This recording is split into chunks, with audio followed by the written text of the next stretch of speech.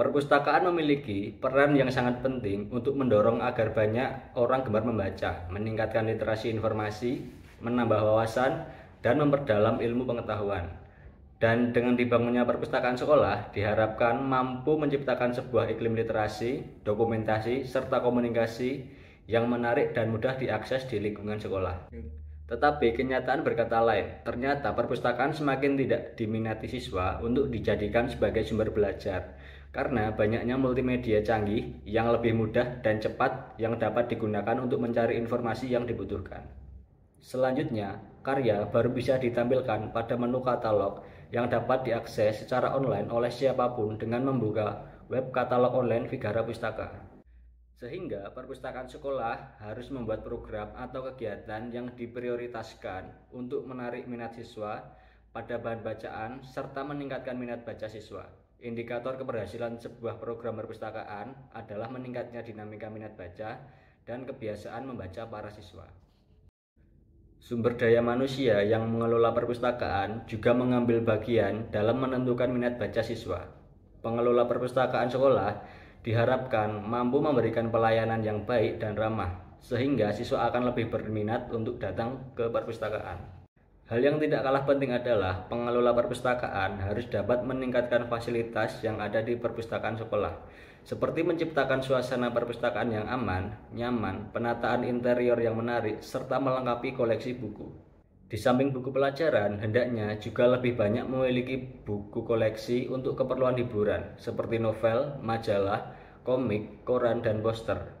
Bila perlu, perpustakaan sekolah juga harus dilengkapi dengan fasilitas digital, misalnya komputer yang dilengkapi dengan mesin penyarian buku, televisi, dan VCD player untuk menonton video yang berhubungan dengan pelajaran dan fasilitas lainnya yang sesuai dengan perkembangan zaman saat ini. SMA Negeri 1 Perambanan sendiri memiliki perpustakaan yang diberi nama Vigara Pustaka. Kali ini kami selaku pengelola Vigara Pustaka ingin melakukan sebuah inovasi layanan yang dapat digunakan untuk memberikan fasilitas yang dapat membantu siswa menyalurkan berbagai kreativitas mereka.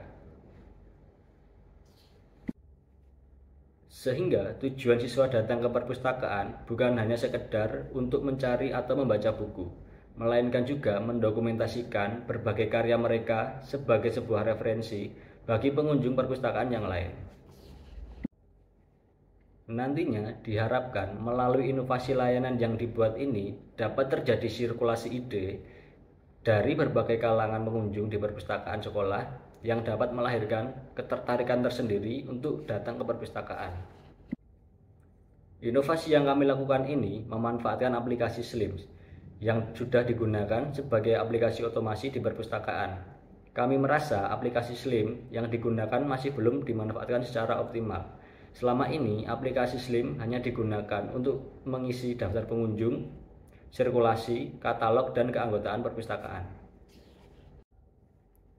Dalam kesempatan ini, kami memiliki gagasan untuk memaksimalkan penggunaan aplikasi Slim sebagai wadah untuk menampung karya siswa dengan memanfaatkan fitur katalog. Sebelumnya, di dalam katalog hanya berisi judul buku, cover buku, nama pengarang, dan data lain terkait dengan buku tersebut.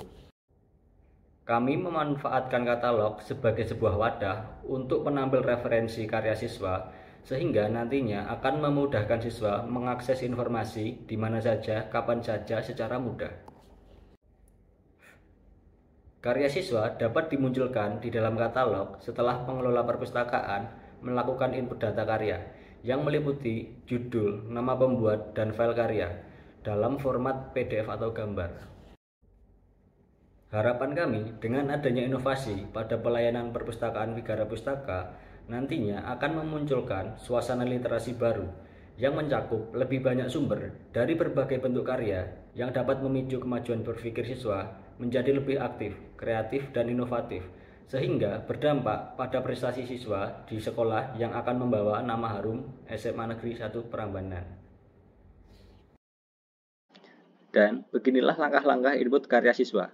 Sebenarnya proses input karya siswa ini sama seperti input data bahan pustaka. Pada tahap pertama, kita masuk ke dalam aplikasi Slim. Selanjutnya, pilih menu bibliografi dan tambah bibliografi baru. Lalu kita isi bagian yang diperlukan, seperti judul dan nama pengarang.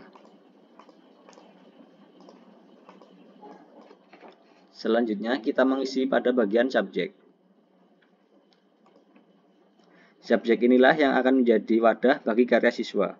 Pada bagian subjek, kita isi dengan garasi visual untuk karya berupa gambar, garasi audio untuk karya berupa suara, dan garasi tulisan untuk karya berupa teks. Jika sudah mengisi subjek, selanjutnya adalah unggah sampul dan bukti karya.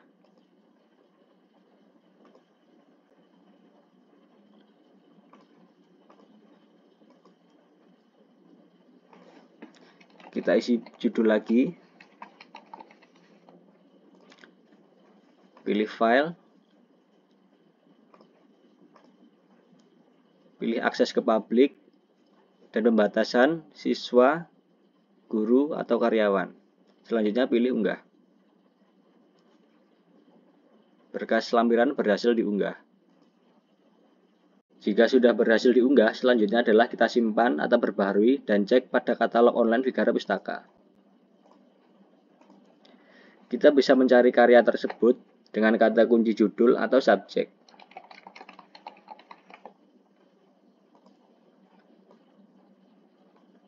Dan inilah tampilan setelah kita berhasil upload karya pada bibliografi.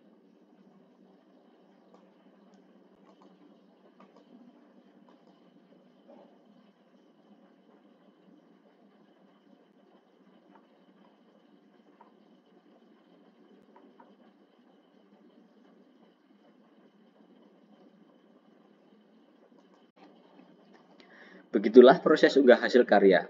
Dengan adanya layanan baru ini, diharapkan perpustakaan mampu menjadi wadah untuk karya yang telah dibuat oleh para siswa. Dan semoga hasil karya ini mampu menjadi inspirasi, motivasi, dan referensi bagi siapa pun.